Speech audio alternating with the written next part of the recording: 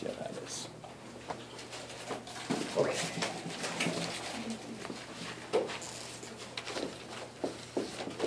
So we actually have a little bit to finish out of 3.3. Today I want to try to finish out chapter 3.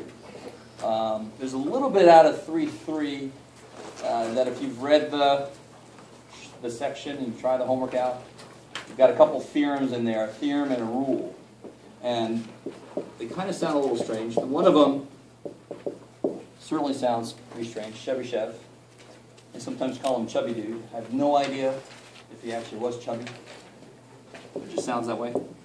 So Chebyshev's theorem, and the more you understand standard deviation, the more this theorem makes sense. I am not going to get into the specifics behind the math that went into the numbers that come out of this, but I am going to talk a little bit about the concept. Uh, the math is just a little bit beyond us. But here's the idea. If I went to Florida and I took the ages of people, I might get a bunch of really young people and really old people. With me? Yes, you are with me. Yes, because I haven't really said too much yet. Okay. Um, so really young, really old. Where would the mean be in this case? Where would the average age be? Right in the middle. These are pretty symmetric. When you average everybody up, you're probably going to come out to about right here. Okay. Now, a standard deviation, if I go up one step, one standard deviation, and down one standard deviation, that's kind of the thing I asked you to do on the test. And this is more theory. This is why I like to do that concrete example where I actually have you add a standard deviation, subtract your standard deviation, and then you can go see from the data. Here, this is completely theoretical. How old is this person? I have no idea, Jeff. I just know they're young. That's all he told me. Completely theoretical. But if I take one step up and one step down, you write that, let you soak that in. You guys cool with those symbols? Add one step to the mean, one standard deviation, subtract one standard deviation from the mean. What Chebyshev said, the very first thing he said was kind of lame. Got to excuse him for that because he's talking about every damn distribution that's possible. What he said was for any distribution within one standard deviation of the mean, there's at least 0% of the data. Which, you know, I would have no problem saying that. I, I wouldn't have to do any damn math at all. Within one step, there's at least 0%. Way to go out on a limb. Right, so, so far, not very impressive. Right? But you guys kind of see how that could work? If I had these, this kind of distribution where I have one big mound over there and one big mound over there, if I take one step up and down, I might not catch anybody. And here comes the real power of this. If I take one more step, according to my picture, I'm going to catch people. But my picture is way too specific. You shouldn't really look at the picture as a proof of anything. But it's just kind of a visual of what's going on. If I take one more step within two standard deviations, of the mean. There's at least, no, I forgot the number, 75% of the data. Now, now, I really want you to think about this. And, and I know on one hand, this just sounds like people playing with numbers and having a great time, but this is, this is reality. I don't care what the hell this di distribution is. It could be ages of people, it could be heights of people, it could be lengths of schnauzers, it could be life of sneakers, it could be whatever the hell. Find the mean, and I take two steps up, two standard deviations, and two standard deviations down. I must catch at least 75% of all the data points there are. So if I took the heights of Grossmont students, I would know that 75% of Grossmont students are in between this height and this height, period. So then I can design how tall my doors are so only so many people have to duck, for example. You guys kind of with me? A few of you, like three of you, all right. The rest of you like, I'm not shaking my head for you, man. You haven't made a damn bit of sense yet. Now, now, what's one thing? Let's say I'm God, right? And I reach down and I say, screw statistics. And I, and I that's what a DD would sound. So, and I just make all these people younger. And I make all these people older. So I'm trying to escape this, right? God says, screw math. Math is not something I created. Math. or whatever deity you pleased with. Could be flying spaghetti monster. Um, how, why is that not true? Why do I not? He then says, screw you, Chevy Chef. Now it's zero. Nah, nah. Why does that not work that way? What is it within the system that still makes that plausible? Standard deviation must then get bigger. So as my data tries to escape, my pursuer, my standard deviation, is able to go faster. It catches up with it again. My standard deviation will now get bigger. And I would still catch at least 75% of the data. How are we doing so far? All right, cool, cool, cool, cool. And then last little thing, part C here. Within three steps. Oh God, it's even worse and worse. Within three steps of the mean, you get 89% of the data. If you're interested, and I'm not going to make a huge deal out of this, um, the formula that is used here is this one. If you want to be within four steps, you make K4. Just to double check this real quick. Three steps, 89%. You with me? What do you get when you make K3? You get 1 minus 1 ninths, Which is which is 8 ninths. Which they do. Yeah, not, 1 ninth is point one one one one one one one. So 8 ninths is point eight eight eight eight eight eight. So then you get 89% if I round it. With me? Semi with me? I'll take that as a yes. You're with me. Right. You do not want to let me know anything. And so within 4, if I want to do within 4, you do 1 minus 1 over 4 squared, 1 minus 1 16th, 15 16th, or whatever the hell that is. So that's the general formula. I am not as concerned right now with the formula of this as I am with the idea of this. So let me, let me do a specific concrete example.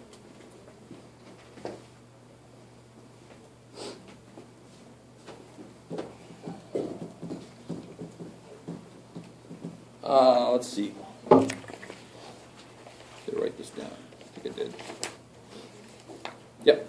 The average on the test was a 72.9, and the standard deviation was a, I'll go ahead and make that 14.131. So now, now when I say that, now this is the actual numbers from the test. This is test one for this class. The mean was a 72.9. Standard deviation was a 14.131, which is relatively a little bit bigger than normal. And what does that really tell you, though? What is that standard deviation of 14? The fact that it's a little bigger than normal? What does that mean about the grades? They were further. Yeah, they were more spread out because standard deviation measures the spread of the data. So maybe there were a few really low grades and a few really high grades. There were a couple above 100. All right, and there were a couple down in the 40s. So that kind of explains why the standard deviation is so big because it was a little more spread out. Um, can you tell me between what's your grades? Would we find at least 75%?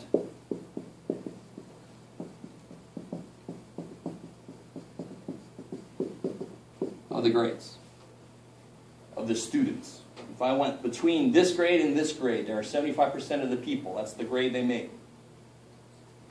What does Chevy say to help us out? How many steps do I have to take out? Two. So I start at 72.9. What's two steps up? Each step is 14.131, so two steps would be 28.262. So what do you get when you take two steps up? Add that to that. What do you get? Second. 100 and 101 point blah blah whatever. So far so good. What do you get when you take two steps down? 44.7, 0.638 to be precise, but uh, what did it say? 43 point whatever? No, 44. So in between about 44 and 101, I'd find at least 75% of the grades. In reality, I think I would find just about 100% of the grades in between those. But all Chevy Chef says is you find at least 75% within two steps. You with me? Cool. If I went out three steps, I should catch almost all the data. I only leave out at most 11%. I should catch at least 89% of the data. Okay, maybe, maybe, maybe. Again, why is this important? The thing I just told you a second ago about if I knew the heights of people, I could figure out between what two heights, you know, would I catch so many of the people so that I can design my doors so that fewer people have to duck. Or when I'm creating airplane seats, what are the widths, the average width of everybody's hips? How big is your butt? And then the standard deviation, I can figure out how wide can I make a seat so that fewer people have to buy two, for example. You guys, you guys kind of with me? Good PR for the airplane if they don't have a lot of people having to buy two seats. Okay, which is America, so it's got to. All right. Cool. How we doing with that? That's Chevy dude. The Chevy Chev. That is a very abstract theorem. Now, what lives within this is what if I have a normal distribution? Why can I suddenly be a lot more precise? What distribution does this work with? Any. So if you sit down, and I know not a lot of people are going to do this, but if you just sit there and you put and you just make up a bunch of numbers, I don't care. Some could be negative, some could be really big. Hopefully, you write it correctly. You know, some could. You, just make a bunch of numbers and you find the mean and the standard deviation, and you go up and down. You're going to have to catch at least 75% if you go two steps out. You have to catch at least. I don't care what the hell numbers you come up with. I don't care what you come up with. Make a big negative, make a big positive, make them tiny, tiny, tiny, tiny. I don't care. That's what Chebyshev says for any frickin' distribution. So we can forgive him on the first one, at least 0%. Way to go. How many people are going to vote for the guy? At least 0% vote. That's exciting. Kind of with me? We can forgive him because he gets a little more precise and it works for any damn set of numbers you can come up with. Crazy. So now, if we take the same idea, but we say now we're going to restrict it so we only look at normal distributions.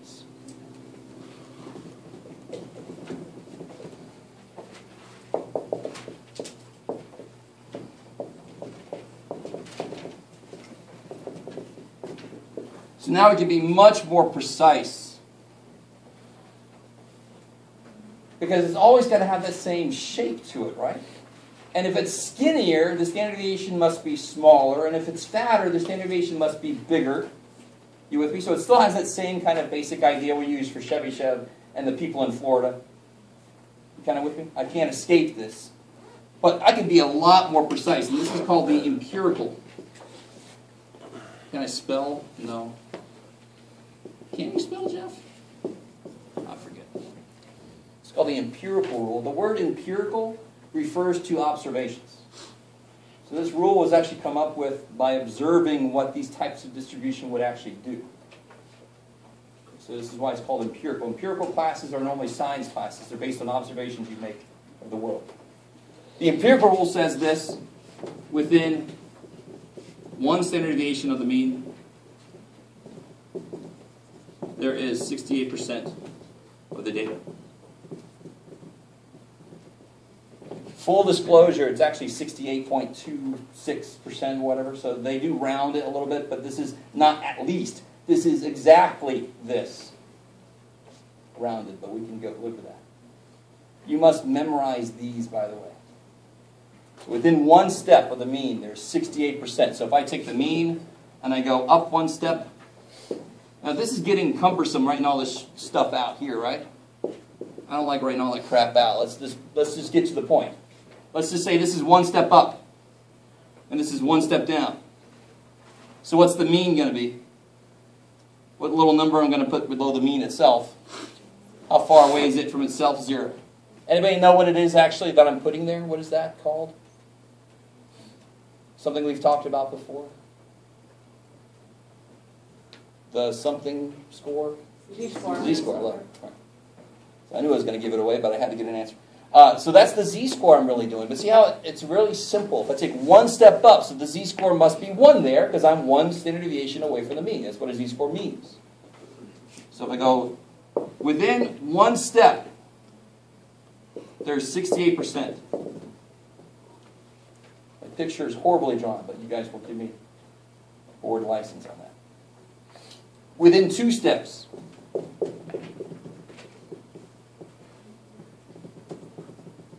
there is 70, yeah, 95%. I had Chevy in my brain. Now think about that. Within two steps, you catch almost all the data if it's normal. You only leave out 5%. So within two steps of the mean, you catch 95% of the data. And finally, within three steps,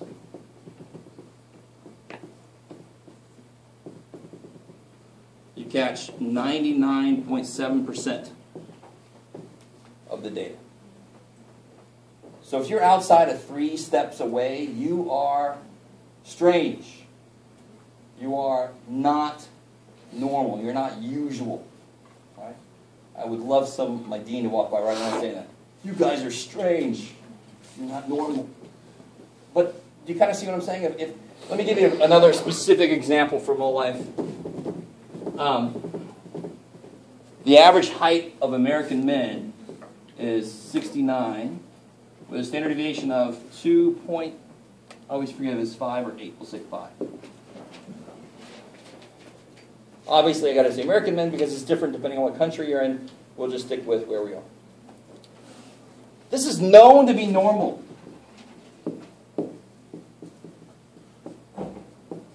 Known to be normally distributed. So therefore, I can use this rule. Cool. So it's even better than Chevy Chev. I can be much more precise. So, between what two data points would I find 68% of the data? Between what two heights would I find 68% of men?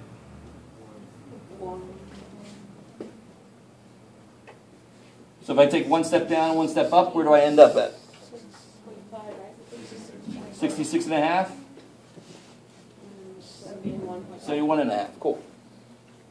So take two steps. I would end up at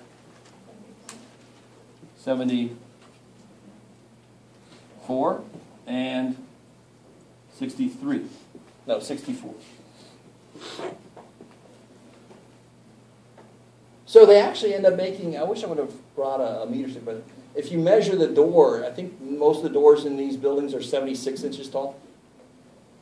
And when 76 is right here. So above 74, let me see if we can take this idea a little further. How many, what percentage of the American male population is taller than 74 inches? Let's kind of work at that. How, what percentage is in here? Let me catch up to you. You're almost there. What percentage is in here? 95 because it's within two steps. You with me? 95% of all men are between this and this height. So that would be basically all of us, just about. Anybody taller than 74 inches? Any dude in here taller? Okay.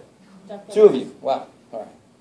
So two out of about 50, that's 4%. That's actually not too far off. Um, so up here, so this is 95%, how many, what percentage is outside of there? What percentage are really tall or really short? Two and a half each, so 5% total, so how much just on that side? Two and a half percent. That's exactly the kind of problem I love to give you on a test. Hint, hint. Right? Cough, cough. 2.5%. So 2.5%, I could say what percentage of American men taller than 74 inches? Another way to say that would be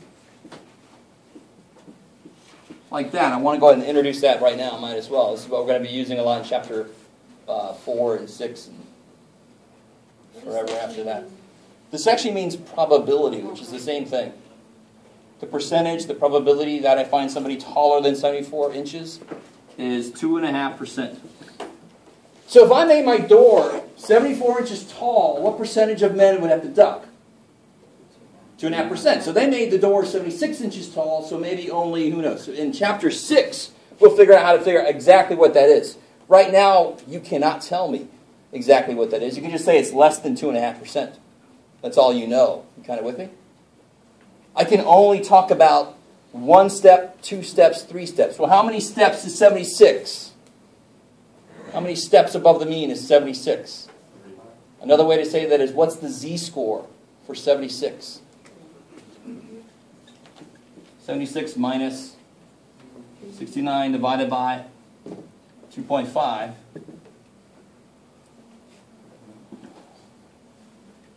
2.8. Is that right? Find out. Well, trust me. But trust me, yeah. 2.8. I'm a math guy, I got to show off. it. That's it. That's all my skills. 2.8 steps. We knew it was less than three steps because three steps would have been up to 76 and a half. So it's 2.8 steps up. In chapter 6, we'll figure out how to tell exactly what percentage is above that. Right now, I just can say it's less than 2.5%. It kind of makes sense. They don't want to make hobbit sized doors because then everybody's got to freaking either limbo or do this or something or just take it. Who designed that door? All right. I'm desperately hoping you guys are starting to see the usefulness of it. If I know it's normal, even if I don't know it's normal, Chevy Chef comes in and does something for me. It's a lot more vague, but it's still something. If I know it's normal, I know exact amounts of where things are. I know how to design things so, so that people are comfortable in places. I know how many chairs to bring or how many seats to sell. That's even more important. How many seats to sell on an airplane based on how many people normally don't show up. So that I don't have to bump a lot of people so my airline is not getting bad press. You guys kind of with me? I mean, that's the usefulness of what the hell we're doing right now. Always a good thing for any teacher to do, but math people, we especially have to say, here's why we're doing this stuff. Yeah. Yeah. Um, okay. I have no time, but I want to at least introduce the idea in section 3 4.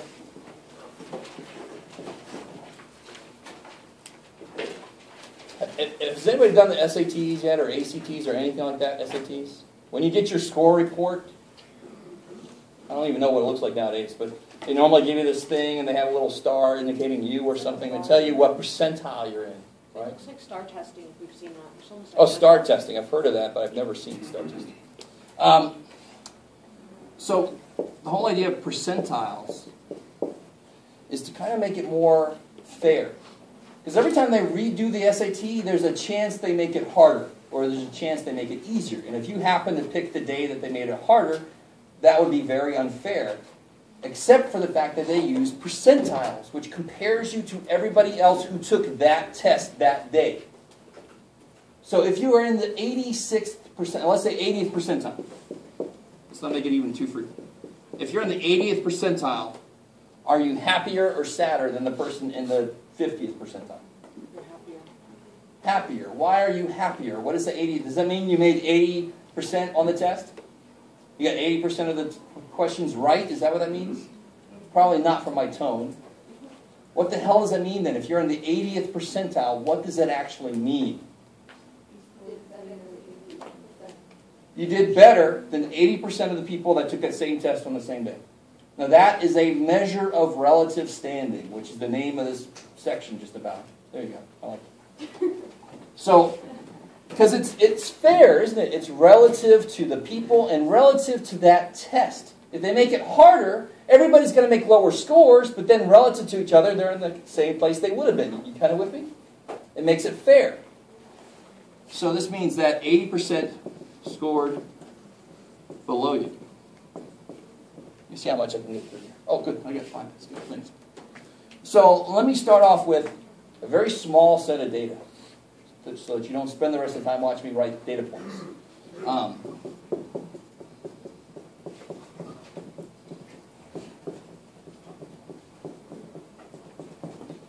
how many do I have? One, two, three, four, five, six, seven, eight, nine. Sweet.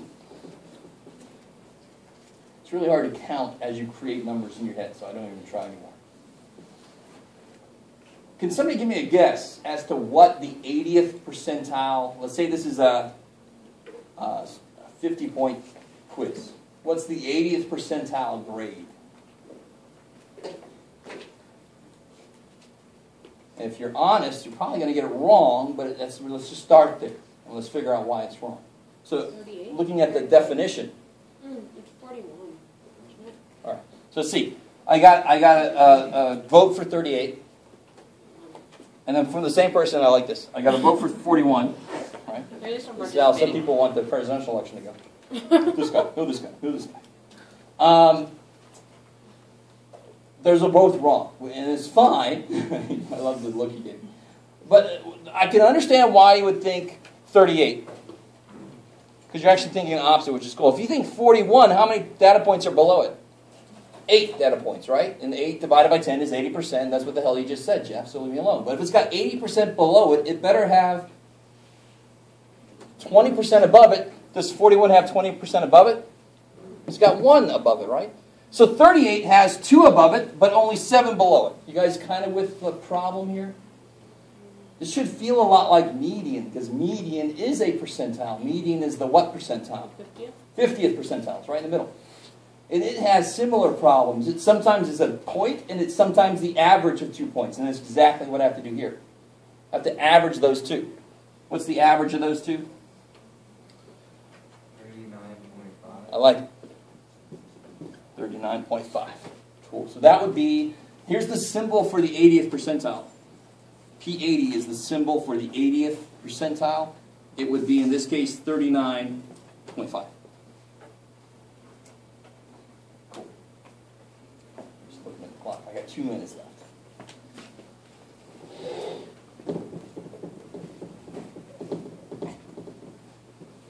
So very quickly, the last little thing, I want to show you a, a little more. What if I have a 180 list of data points, 180 data points in my list? Right. Yeah, I'd rather get some algebraic kind of way to find this, right? So does it make sense that if I want the 80th percentile, how deep should I go into my list? About 80% of the way in, right? And how long was my list? So n is 10. I want to go 80% of 10. That's step one. Step one is how, where is my answer? I want to go 80% of the way in. So what's 80% of 10? Eight. Eight. Step now now if it comes out to a whole number. Now, now think about the median. Where would the median for four numbers? Where would the median be? Is it the second data point? Why not? Because half of four is two, man. What the hell? Where is the median actually? You divide the, you, you divide. You, you average the two in the middle. You with me?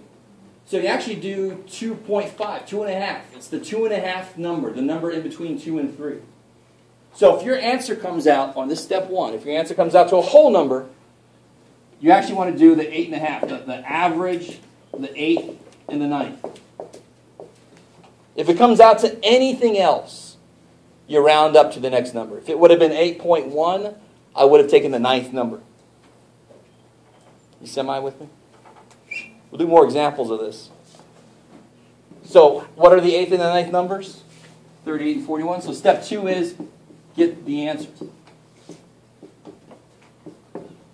So, you take 38 and 41 divided by 2, and you get your 39 and a half. So, it is exactly the median, just a more general example of that idea. Median is a specific type of percentile.